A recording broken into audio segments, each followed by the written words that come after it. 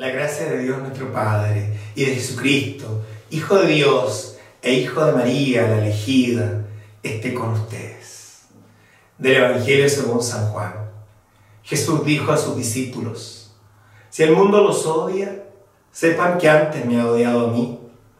Si ustedes fueran del mundo, el mundo los amaría como cosa suya. Pero como no son del mundo, sino que yo los elegí y los saqué de él, el mundo los odia. Acuérdense de lo que les dije. El servidor no es más grande que su Señor. Si me persiguieron a mí, también los perseguirán a ustedes. Si fueron fieles a mi palabra, también serán fieles a la de ustedes.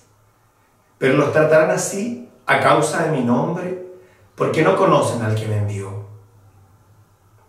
Al igual que Jesús, nosotros experimentaremos, si no el odio, el rechazo, la antipatía, algún grado de burla de parte del mundo. Es una medida que no nos ha de escandalizar. El mismo Jesús nos recordará en su bienaventuranza que cuando esto ocurra hemos de alegrarnos, porque así trataron también a los profetas que nos precedieron. Y la razón de esta molestia, de esta incomodidad que padeció Cristo hasta el tormento de la cruz, es porque la elección con la que fuimos bendecidos nos aparta del mundo, al menos de los criterios del mundo, para hacernos peregrinos en esta tierra y más bien ciudadanos del cielo.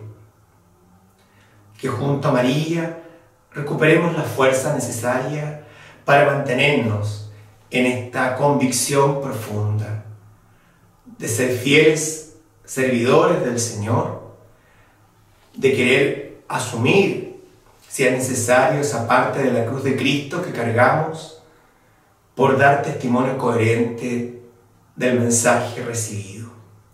Que la Virgen fiel nos anime en la misión permanente.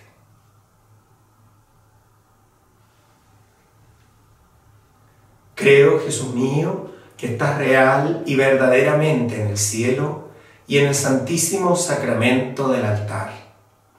Te amo por sobre todas las cosas y deseo vivamente recibirte dentro de mi alma. Mas, no pudiéndolo hacer ahora sacramentalmente, ven espiritualmente a mi corazón.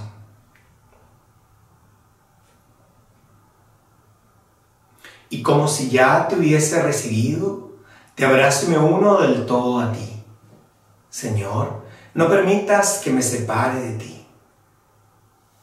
Que les bendiga por intercesión de la Santísima Virgen María, el Dios que es Padre, Hijo y Espíritu Santo.